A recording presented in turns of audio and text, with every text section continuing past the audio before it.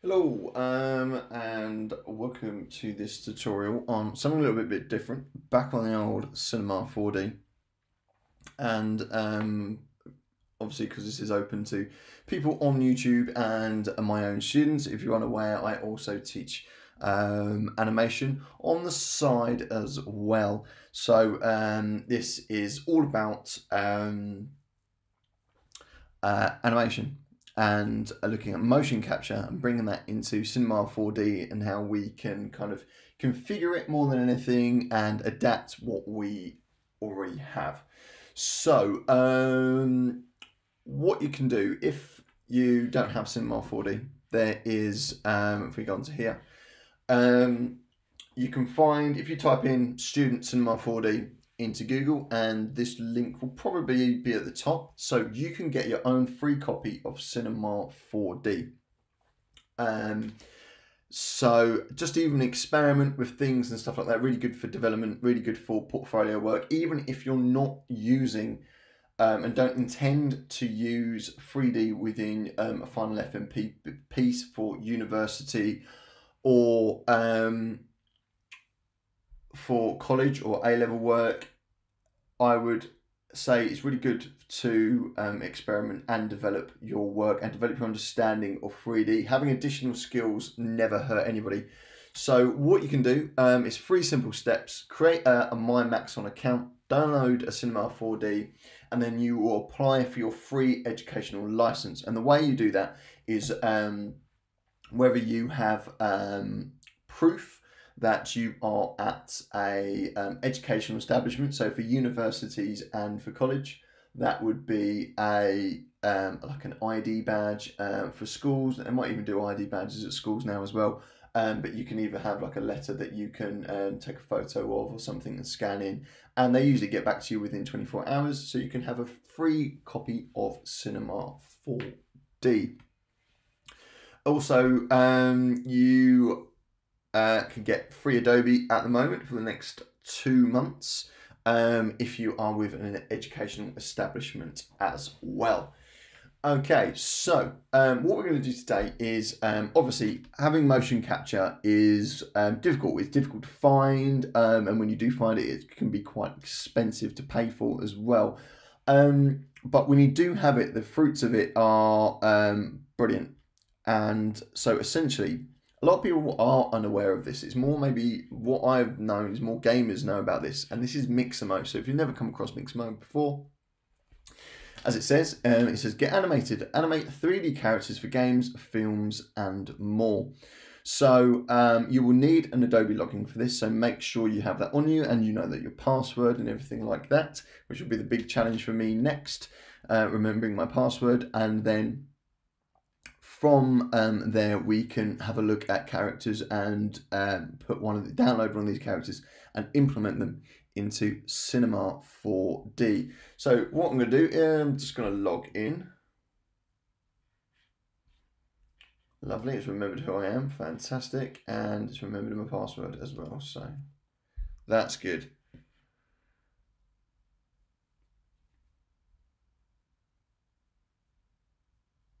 So straight away as we're into Mixamo, it's all all moving, all singing and all dancing straight away. So this is an old model that I've used. So what I'm going to do is click onto characters and then hopefully I can choose a nice default character.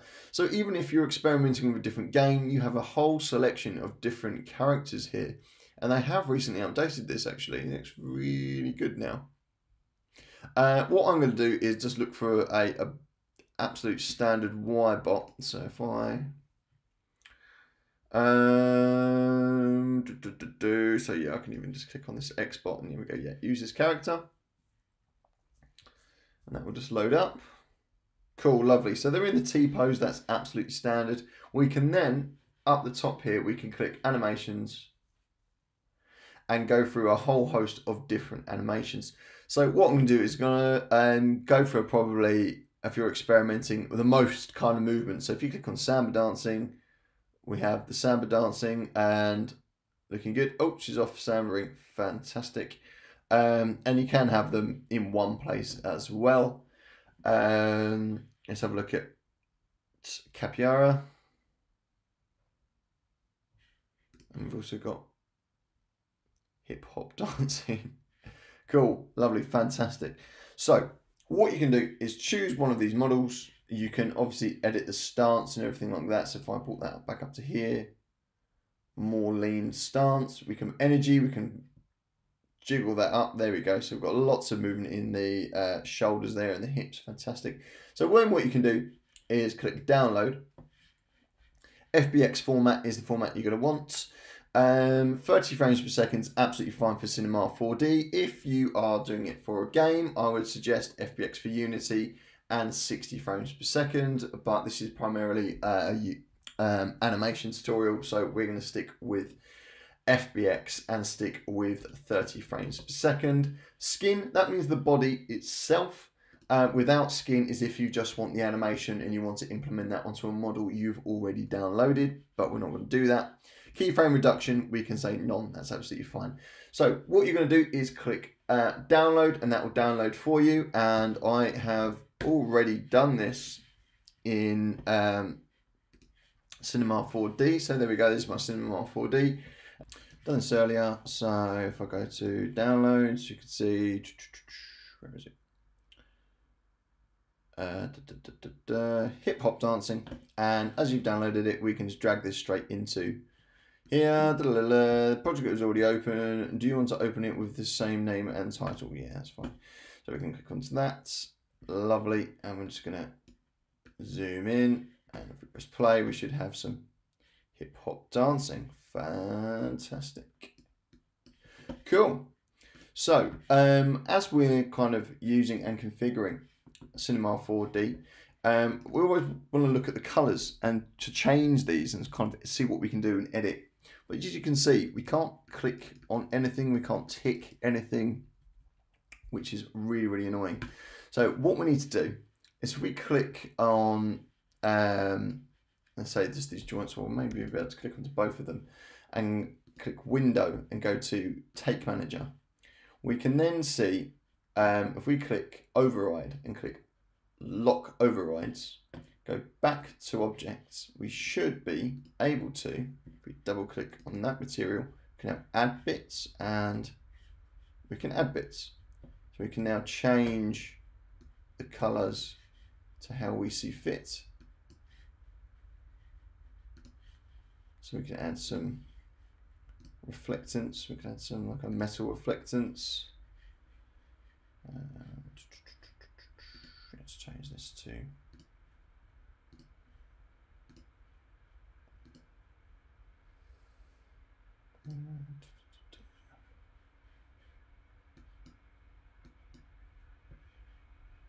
Cool, bring down the roughness. So then we've got a nice shine. Cool, might bring that bump strength down. Cool, so we can edit, and there you can see already we've got this really nice kind of shiny kind of texture with our character. Um, so yeah, so have a play around uh, and get used to um, changing the materials of your character. It can look really, really cool. And again, you can do this for games or animations. Um, so once we've done that, we can do a lot more because this um, unlocking or locking the um, overrides allows this to um, edit this um, motion capture uh, robot or Y-bot in any way, shape, or form. So, um, what we can do is if we click on the uh, beta underscore surface layer here, and then if we went up to, um, where is it, simulate, what we can do, um, hair objects, add hair. Whoa, so there we go. Um, and as you can see, we can play that through and we got our character all covered in hair. So and even if we render that through, it probably look hideous, but there we go. Um, so again, this is just playing around with Cinema 4D. That's looking good. So um, what else can we do? Let's edit these hair options. So if we click on guides, we can then make sure what the roots where's roots? Oh yes, right here. And then let's change the length down from 100. Let's try 10. It's looking a bit better. Let's render that through again. Wicked. Replay that through. We can see the hair's got some nice movement. Might just change that to, let's try 20. Almost like an abominable snowman. Looking good. Cool. So if we render this through, we can still see a lot of the um, the red shine from our character. So we can change this as well. Um, we'll change that in a minute. Let's have a look at what we can do with this hair first. Let's see if we can change it up. Dynamics. Uh, da, da, da, Let's have a look. Now we've got properties rest mix, let's change this to around try 30. And then we change to rest hold, let's just change it to 30 as well. Let's play this through, let's do a render. Cool.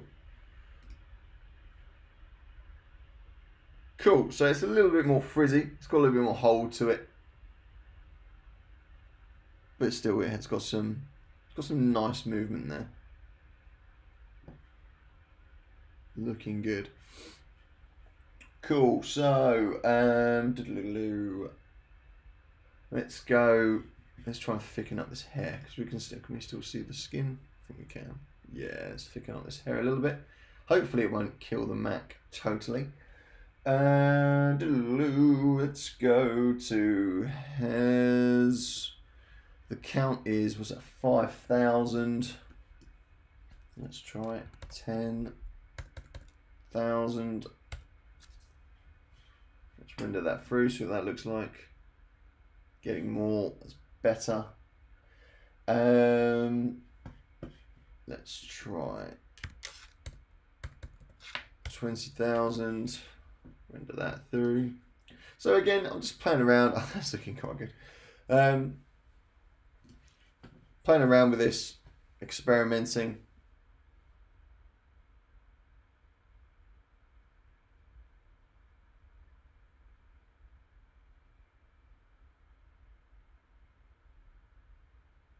Awesome. Cool. So, um, we can edit this scene. We can we can add a floor. We can add a light. Let's bring that light up. And then, and let's see angles that is. Let's pull that away pull that up.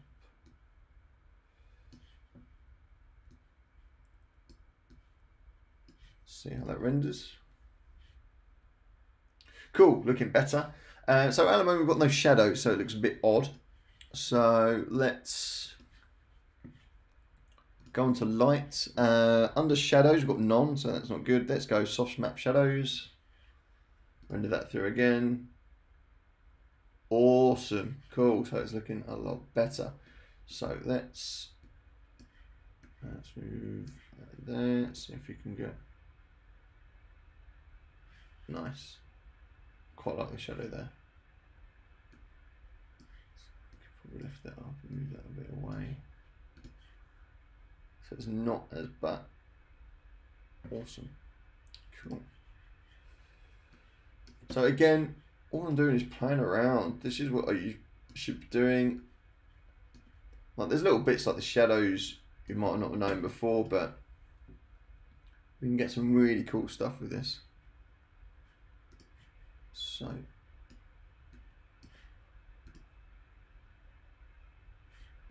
cool. Let's see uh, what else we can do. Um, let's go and have a look at this hair material as we come as soon as you add the hair the material pops up down here as well so we can double click onto this and have an experiment with this Um, so we should be able to create some kind.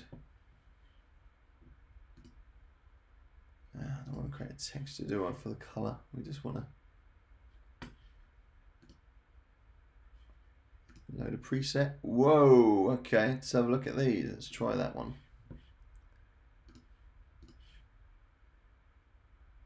Awesome.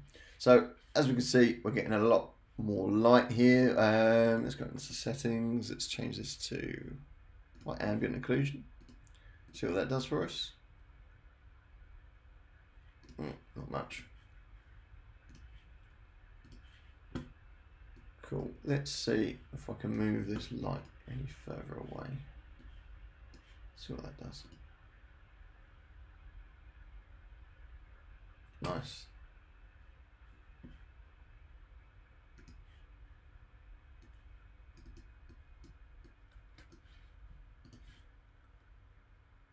Let's render that through. Wicked, that is looking uh, pretty good. Um, let's quickly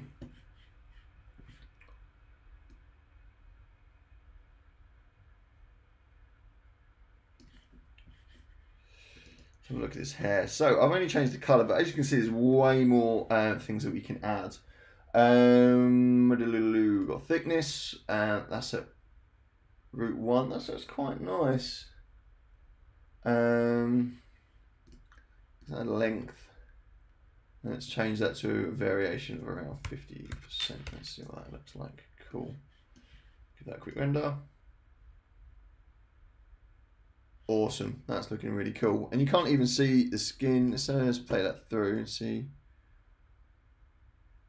what that does as she's hip hopping around. The kick up like that. Let's see if we can see any skin. You can't at all. It's looking really nice.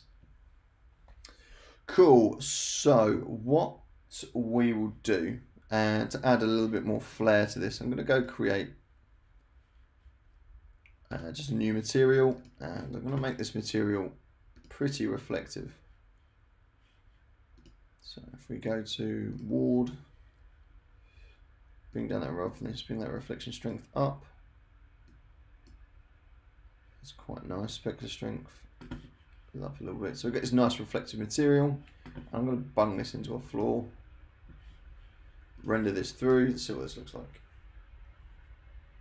Nice, so we've now got some nice reflections coming through on the floor here. Let's just dip that down a little bit, render that through. Awesome, wicked. Um, so let's I'm not too sure here, if we play this through, I think I'm just going to play it, pause this for a bit. Oh, it's all going on. Let's go back into this, render that through. So you might have a problem where the hairs are going through your floor. What we can do is, um, I'm not sure if it is. Anyway, if it is, what we can do um, let's have a look what the other angle looks like from here. That plays low. cool. So I don't think it, uh, it does look like here, just a little bit. I think the hairs are coming through. If your hairs are going through the floor, what we can do is we can add a tag to the hair. Um, so let's go on to click right click onto the hair um, hair tags and I think a hair collider should do it. Don't know if that will change really anything in a preview.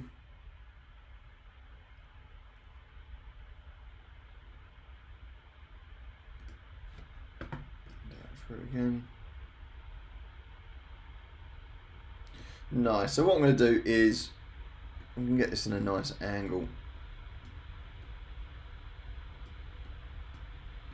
Getting the floor and our character so we can see that reflectedness.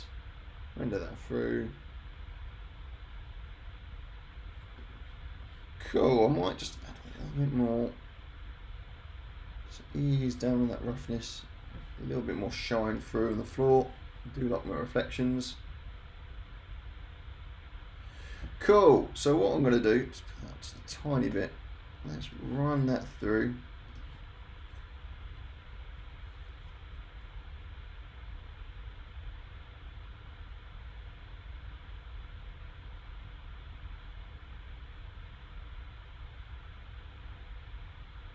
Cool, I'm pretty happy with that.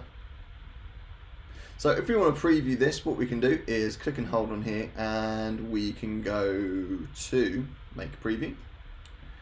And we're going to ask for a full preview. Uh, MP4, that's fine. And as you can see, we only want a preview, so we're only really, really small. Um, I might just quickly change this to 500 and see what that says. 500 by 281. Um, I might push it. Let's try it. 720. 450. Cool. Um, and what I'll do, I'll probably stop the video and then I'll come back after this has done a render. So if I click OK on that, you can see that it says calculated preview down there. And uh, what I'll do is I will come back uh, once this video is um, rendered through because it could take some time um, and see what it looks like. Cool. I will see you in a bit. So this is our um, final render. Um, as you can see, it's only a small preview. Um, so, but if I press play, it looks really effective. And uh, what we were doing, we were playing around for no longer than kind of 20 minutes to create this really kind of realistic kind of effect. Um, we can also, we can zoom in as well.